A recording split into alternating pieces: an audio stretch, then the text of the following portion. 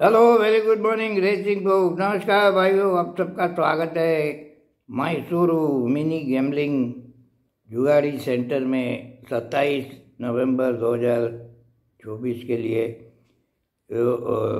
Last time तो मैसूर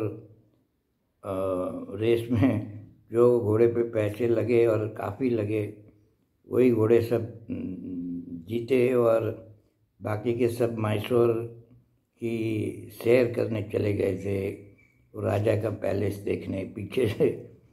तो you to be very careful in this centre एक दिन ऐसा आएगा कि जिस पे पैसे लगे वो नहीं जीतेंगे और फलता ही जीतेगा, भगवान जाने। It's very goofy centre folks as it is मैं तो पर्सनली बम्बई के सिवाय किसी और पे नहीं जुगाड़ इतना खेलता।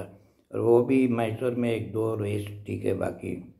बाकी सब time pass any ways going straight to the race is the fame and glory plate class five की रेस है.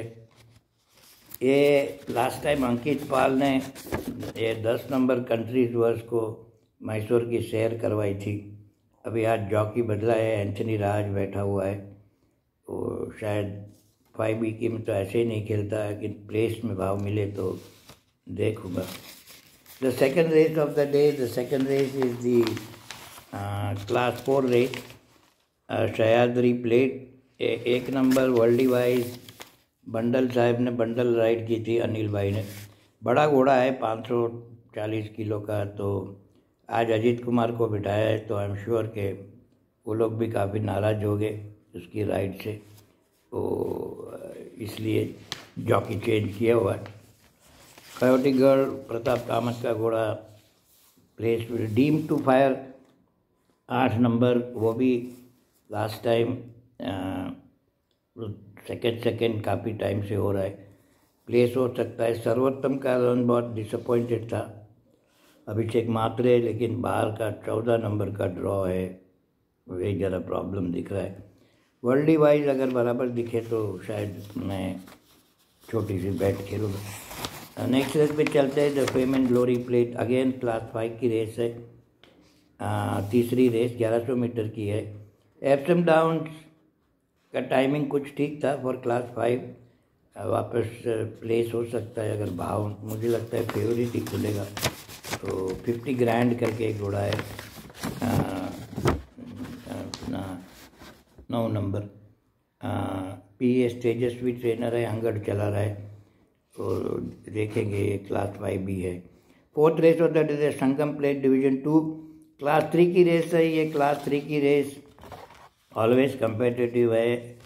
ऑलवेज मैं बोलता हूँ ऑलवेज से class three race very open and competitive in nature this one also looks like ये चार घोड़े perfect justice छः नंबर सात नंबर टावर क्वेस्ट और ये दो जो लास्ट टाइम के विनर थे शी इज़ अनस्टॉपेबल दस नंबर और थालिया, थालीवा।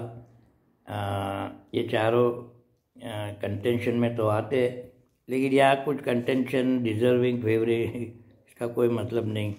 जिस पे पैसे लगे वो। तो ये दोनों को पेनल्टी है। चीज़ अनस्टॉपेबल और सलाइवा क्लास भी ऊपर जा रहे हैं।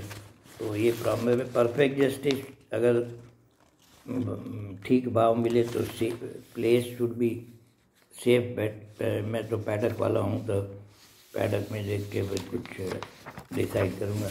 नेक्स्ट रेस पे चलते next race the team feature race of the day the doctor R Rajendra Prasad memorial trophy race the buck after a gap again was a very impressive winner छेले चार race से हारा ही नहीं।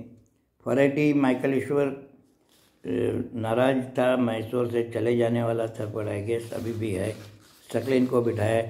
और आभूषण तो सचमुच सोने की दुकान में आभूषण लेने ही गया था लास्ट टाइम आज भी जॉकी चेंज है अंगर से ए प्रकाश। आई थिंक ए प्रकाश इसका भाई है कजिन ब्रदर संदेश का। The good jockey blinker off किया जा रहा है तो I think the race should be between them Aabhushan and race buck only next race में चलते हैं। The Bandipur plate class four की रेस है। ये दो number red is always shift बहुत बुरी तरह होता है। तो आज जॉकी बदला है। ए प्रकाश लास्ट टाइम भी could have won if he had not shifted very drastically I was hoping some equipment change लेकिन नहीं इक्विपमेंट चेंज नहीं है। तो